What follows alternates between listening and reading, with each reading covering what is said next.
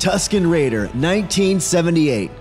First available in 1978 on the 12A Palitoy cardbacks. When first released, this figure was called Sand People, even for the Empire Strikes Back line of figures. It wasn't until 1983 in the Return of the Jedi release of the figures where the name was changed to Tusken Raider. The major variant on this figure is the Hollow Cheeks variant, where the tubes on the face of the Tusken Raider are hollowed out.